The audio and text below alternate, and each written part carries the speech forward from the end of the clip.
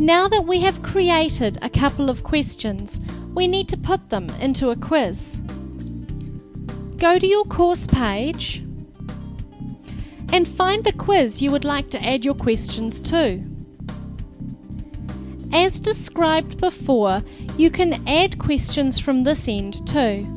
However, we will be adding questions from the question bank.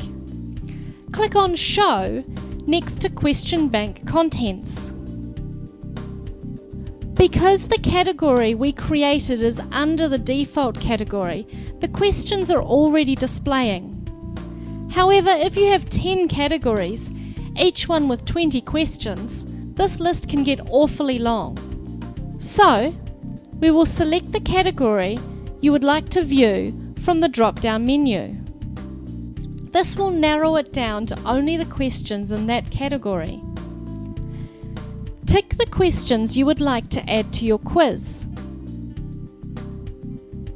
and click the Add to Quiz button.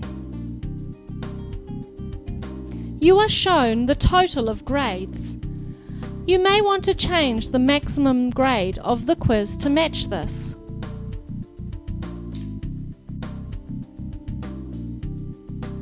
You can change the order of the questions by using the arrows to the right of them, or remove questions you accidentally added using the delete icon. This will not delete the questions from the question bank, just from the quiz. The Order and Paging tab gives you further control over how your questions are displayed. This can be very useful if you have many pages and many questions in your quiz. Your quiz is now ready to go.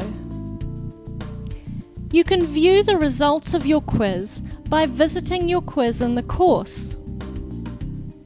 Under the navigation block, where your quiz is listed, there is a Results menu. Opening this menu gives you access to the grades, responses, statistics, and manual grading for essay style questions. Because no students have taken the quiz yet, there is nothing to display. If we return to the quiz in the navigation menu, you will see that we can also preview the quiz to see what a student sees. There are some subtle differences between a teacher looking at a quiz and a student. A teacher can take the quiz and get a results page, but the results are not actually recorded in the gradebook.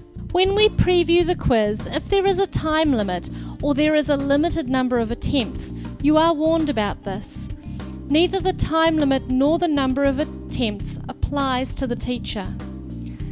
You can see how the questions look for the students.